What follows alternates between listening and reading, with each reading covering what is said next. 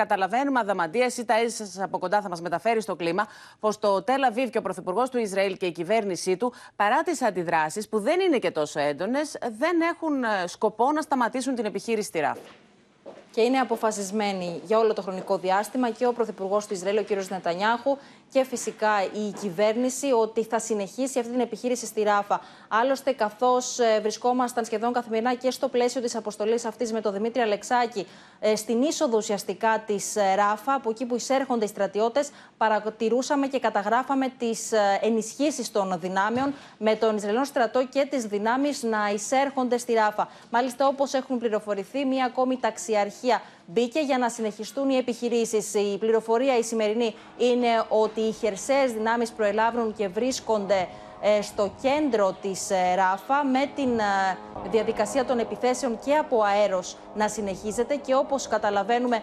αυτό έγινε μετά από την επίθεση που είχαμε χθες και το συγκεκριμένο πλήγμα στον καταβλισμό του λουτρού αυτό αίματος που όπως μεταφέρεται από παλαιστινιακές πηγές με αποτέλεσμα δεκάδες νεκρούς όπως και τραυματίες.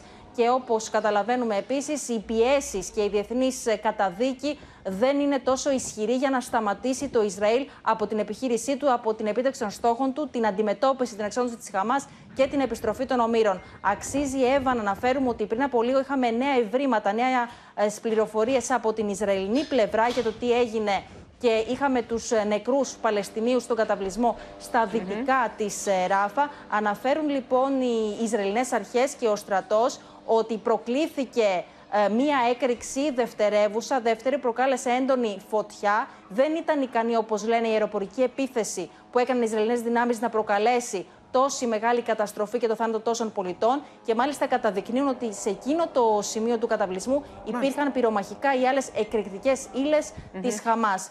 Βέβαια, η διερεύνηση ακόμα βρίσκεται σε εξέλιξη του περιστατικού αυτού και μάλιστα ενημερώνουν ότι η ανθρωπιστική ζώνη mm απήχε από το σημείο της ε, στόχευσης πάνω από ένα χιλιόμετρο και ότι είχαν λάβει λοιπόν, κάθε μέτρο και κάθε.